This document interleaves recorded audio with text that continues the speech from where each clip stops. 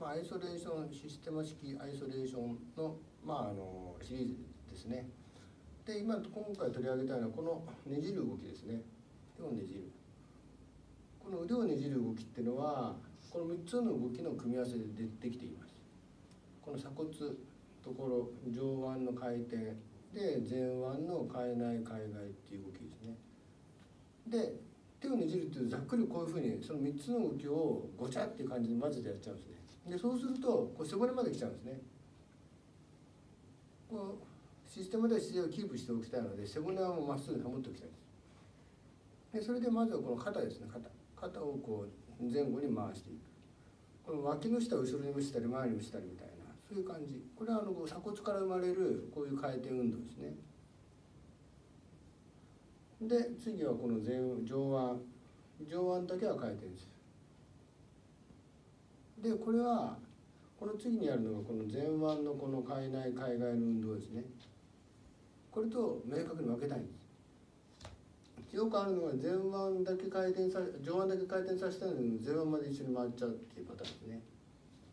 でこう肩を固定してこう腕をねじろうとするとどうしてもこうなるんですね。でここの上腕の可動域は大体90度ぐらいですんでこれを90度動いたら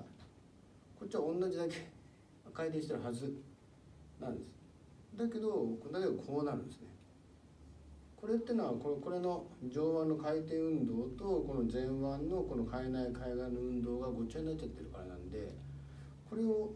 切り離していくと。でこの上腕が動いて肩がこの鎖骨を動かさないで上腕が動くようになってくるとこの肩の動きと上腕が切り離されていくと。でそうやってあのアイソレーションっていうのはまあバラバラにしていくんですけどもそうすることでもってあの全身の統合された動きっていうのはだんだん生まれてくるわけなんですね。なんでかっていうと全身が協調して動くっていうのは各パーツ各パーツがそれぞれのやるべきことをやっているってことであって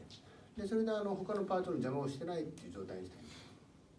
るで動きがいっぱいこう例えばここ回そうとしただけでここに背骨まで曲がっちゃうとか